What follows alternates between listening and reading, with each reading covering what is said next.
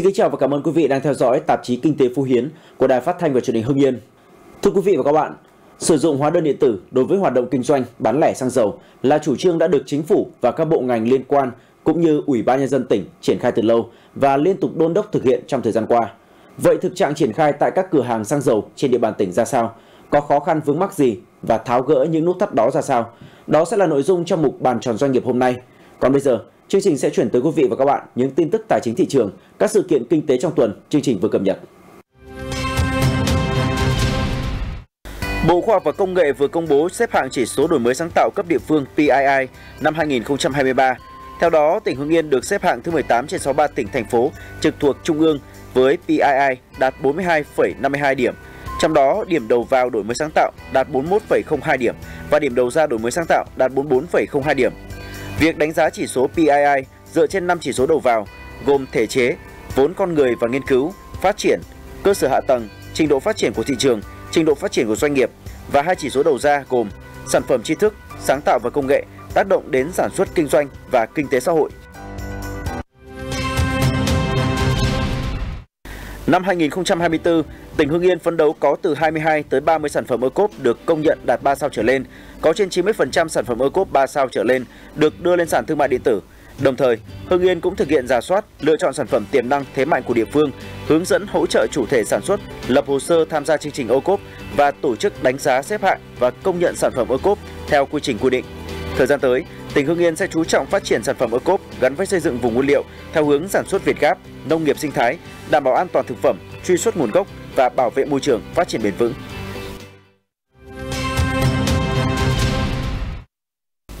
Đông Á Banh là ngân hàng thứ 9 điều chỉnh giảm lãi suất huy động trong tháng 3 năm 2024.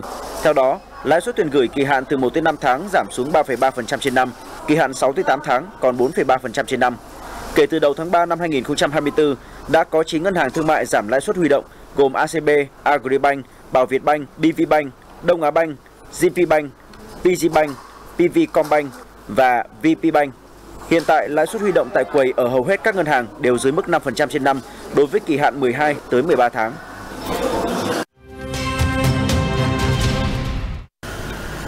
Góp ý dự thảo nghị định về biểu thuế xuất nhập khẩu ưu đãi, Hiệp hội phân bón Việt Nam kiến nghị áp thuế xuất khẩu 0% với phân bón ure và superlen thay vì mức 5% hiện hành. Nguyên nhân, theo hiệp hội này, năng lực sản xuất trong nước đang dư thừa so với nhu cầu, buộc doanh nghiệp phải xuất khẩu để duy trì công suất. Tuy nhiên, Hiệp hội phân bón Việt Nam cho rằng mức thuế xuất khẩu 5% hiện tại làm giảm cơ hội, hiệu quả kinh doanh của doanh nghiệp. Thuế cao cũng hạ năng lực cạnh tranh của sản phẩm ure Việt Nam so với các nước trong khu vực và thế giới.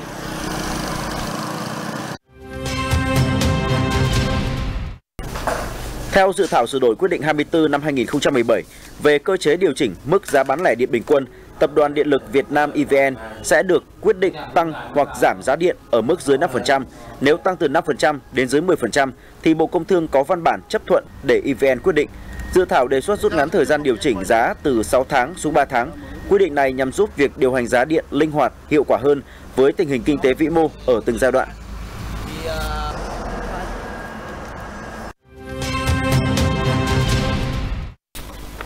Liên tiếp lập đỉnh, cả vàng SJC lẫn vàng nhẫn trơn 999 đều tăng giá bất ngờ trong hàng chục ngày trở lại đây thì bất ngờ ngày 13 tháng 3, giá vàng nhẫn trơn 999 tại các cửa hàng đồng loạt quay đầu lao dốc, mức điều chỉnh có nơi lên tới 1,5 triệu đồng trên lượng.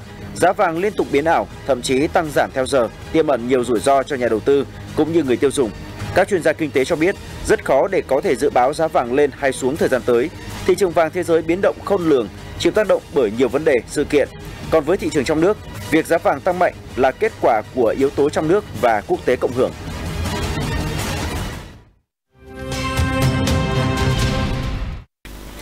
Theo ghi nhận, giá vé máy bay khứ hồi cho chặng Hà Nội Thành phố Hồ Chí Minh giảm còn một nửa so với một tuần trước.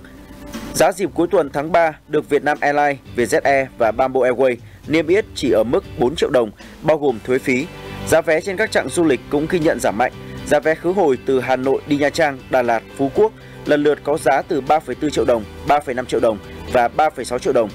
Thị trường nội địa bước vào giai đoạn thấp điểm sau Tết nên giá vé máy bay rẻ hơn, thậm chí nhiều trạng giảm mạnh.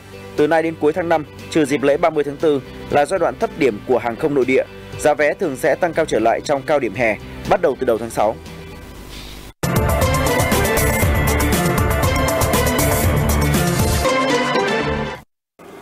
Thưa quý vị và các bạn, sử dụng hóa đơn điện tử đối với hoạt động kinh doanh bán lẻ xăng dầu là chủ trương đã được chính phủ và các bộ ngành liên quan cũng như Ủy ban nhân dân tỉnh triển khai từ lâu và liên tục đôn đốc thực hiện trong thời gian qua. Đặc biệt, Thủ tướng Chính phủ đã hai lần đề cập tới việc thực hiện hóa đơn điện tử trong bán lẻ xăng dầu. Cụ thể, tại công điện số 1123 CDTTG ngày 18 tháng 11 năm 2023 yêu cầu các bộ ngành địa phương tăng cường quản lý sử dụng hóa đơn điện tử. Công điện số 1284 CDTTG ngày 1 tháng 12 năm 2023 yêu cầu các bộ ngành địa phương tăng cường công tác quản lý sử dụng hóa đơn điện tử đối với hoạt động kinh doanh bán lẻ xăng dầu. Vậy thực tế triển khai tại các doanh nghiệp, cửa hàng bán lẻ xăng dầu ra sao và những khó khăn vướng mắc cụ thể thế nào? Đó sẽ là nội dung sẽ có trong mục bàn tròn doanh nghiệp hôm nay. Thưa quý vị và các bạn, trong phiên họp thường kỳ chính phủ vào ngày 2 tháng 3, thì Thủ tướng Chính phủ Phạm Minh Chính đã yêu cầu tất cả các cửa hàng kinh doanh bán lẻ xăng dầu trên toàn quốc sẽ phải thực hiện xuất hóa đơn điện tử sau mỗi lần phát sinh. Ở trên địa bàn tỉnh Hưng Yên thì có hơn 200 cửa hàng xăng dầu và đến nay thì tỷ lệ áp dụng vẫn còn chưa cao. Vậy nguyên nhân là từ đâu? Chúng ta sẽ cùng lắng nghe tiếng nói từ các đơn vị cửa hàng kinh doanh xăng dầu.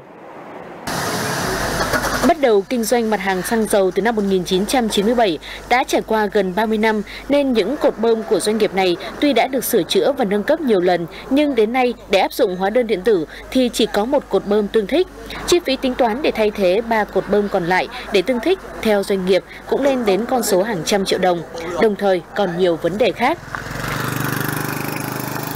cây xăng ở vùng quê bán lẻ rất là nhiều. Ví dụ đây là ờ, khách ờ, đến mua chai thì một chai nó chỉ một lít thôi, nhưng mỗi một lần rút cò bơm ra thì lại tích hợp là tự nhiên cộng thêm là một số chi phí là của hóa đơn. Và trong đó dân ở đây thì họ cũng không không nhất thiết cần. Đó cũng là những trở ngại của rất nhiều cửa hàng xăng dầu khác trên địa bàn toàn tỉnh. Chủ cửa hàng xăng dầu tại huyện Yên Mỹ này cũng lo lắng trước yêu cầu triển khai xuất hóa đơn điện tử với từng lần bán hàng thì cửa hàng lại phải phát sinh thêm một kế toán để thực hiện được, như vậy sẽ làm tăng thêm chi phí cho doanh nghiệp. Ngay tại hội nghị triển khai các công điện của Thủ tướng Chính phủ về tăng cường công tác quản lý sử dụng hóa đơn điện tử đối với hoạt động kinh doanh bán lẻ xăng dầu diễn ra tại Cục Thuế tỉnh Hưng Yên ngày 11 tháng 3 vừa qua, cũng có khá nhiều ý kiến của các doanh nghiệp về vấn đề này. Trong mấy năm vừa rồi, đấy làm ăn rất là khó khăn. Sau cái đại dịch, hai hai chúng tôi cũng lỗ rất là nhiều. Thế giờ sinh ra cái này mà chúng tôi tương đương lại phải thêm một kế toán thế còn một cái ông nhân viên bán xăng dầu thì không thể đáp ứng được vừa bán vừa đánh máy hay vừa chuyển cái dữ liệu về chỗ nọ chỗ kia được. À, đề nghị đồng chí là cho chúng tôi kéo dài cái thời gian để lắp đặt. Toàn tỉnh có 202 đơn vị kinh doanh xăng dầu với 847 cột bơm. Tính đến hết ngày 10 tháng 3 năm 2024, mới có 54 doanh nghiệp cửa hàng kinh doanh bán lẻ xăng dầu thực hiện phát hành hóa đơn điện tử theo từng lần bán hàng, đạt tỷ lệ gần 27%. Các đơn vị kinh doanh xăng dầu chậm triển khai, lý giải là do khó khăn về chi phí đầu tư, vận hành, nhiều cột bơm đã cũ không tương thích với phần mềm hóa đơn điện tử.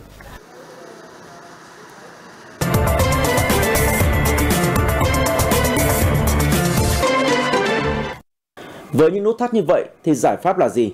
Và với các doanh nghiệp đã triển khai sử dụng hóa đơn điện tử với từng lần bán hàng thì kinh nghiệm ra sao? Mời quý vị tiếp tục theo dõi phóng sự của chương trình. Với hệ thống 34 cửa hàng bán lẻ xăng dầu trên địa bàn thì các cửa hàng của công ty xăng dầu Hưng Yên đều đã triển khai lập hóa đơn điện tử theo từng lần bán hàng.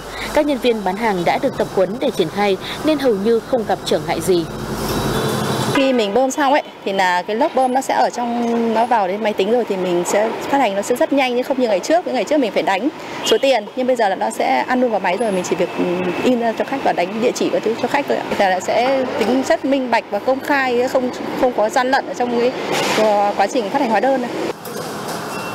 Với những thắc mắc về chi phí đầu tư, lắp đặt hay có sự lãng phí hay không khi áp dụng hóa đơn điện tử mà khách chỉ mua lẻ xăng dầu với số lượng ít, Giám đốc công ty xăng dầu Hưng Yên chia sẻ thực tế. Nếu thực sự người tiêu dùng có nhu cầu thực sự thì chúng tôi vẫn phát hành hóa đơn cho những khách hàng đó à, để họ thực hiện cái việc mà thanh toán theo đúng quy định của pháp luật. Còn trường hợp khách hàng mua với số lượng nhỏ mà không có nhu cầu sử dụng hóa đơn à, thì cái việc đó chúng tôi đã thực hiện việc là chuyển toàn bộ dữ liệu về cục thuế theo từng lớp hóa đơn một và coi như cái việc đó là khách hàng không có lấy hóa đơn nhưng vẫn được thực hiện theo từng lớp hóa đơn. Và mọi dữ liệu đó đã được chuyển về tổng cục thuế để quản lý là chung theo cái góc độ số liệu. Về chi phí ờ, đối với phải việc phát hành hóa đơn cho từng lần bán hàng của các khách hàng nhất là những khách hàng nhỏ lẻ à, thì cái đó theo quy định của pháp luật là chúng ta phải thực hiện. Và chi phí đó ờ, để phát hành hóa đơn, ví dụ như toàn bộ công ty xăng dầu Hưng Yên chúng tôi có 34 cửa hàng xăng dầu và cái lượng phát hành hóa đơn của chúng tôi là một trong những cái đơn vị rất lớn. Nhưng một tháng thì cũng chưa đến 10 triệu đồng cho 34 cửa hàng xăng dầu này.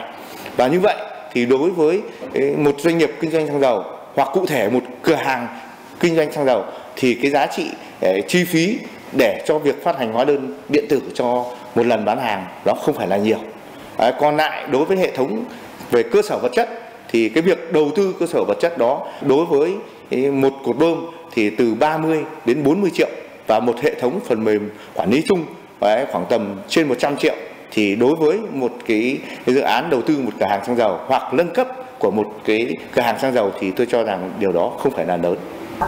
Với các thắc mắc về kỹ thuật công nghệ thì ngay tại hội nghị triển khai các công điện của chính phủ về tăng cường sử dụng hóa đơn điện tử đối với hoạt động kinh doanh bán lẻ xăng dầu được tổ chức tại Cục Thuế tỉnh vừa qua đều đã được các bên cung cấp dịch vụ hóa đơn điện tử đưa ra giải pháp. Vấn đề còn lại của các doanh nghiệp hiện nay là lựa chọn nhà cung cấp dịch vụ phù hợp. Việc triển khai hóa đơn điện tử đối với hoạt động bán lẻ xăng dầu có ý nghĩa quan trọng, góp phần tạo môi trường kinh doanh bình đẳng, thuận lợi, minh bạch, bảo vệ lợi ích của người tiêu dùng.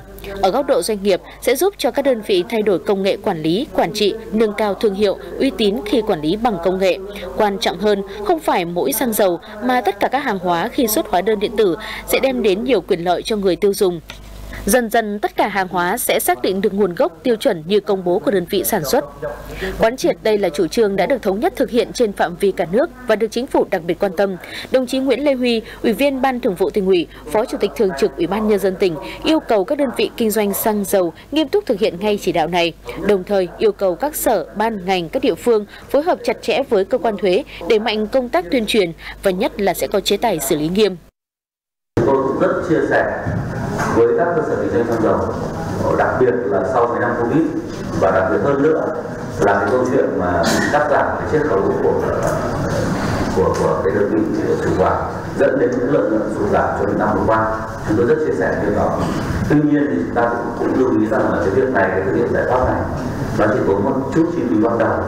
Ờ, còn thì những cái chi phí khác thì nãy các nhà ờ, cung cấp đã nói rồi và quan điểm ở đây chúng ta triển khai hóa đơn điện tử để làm gì? Tại sao là chủ trương để công khai minh bạch chống gian lận.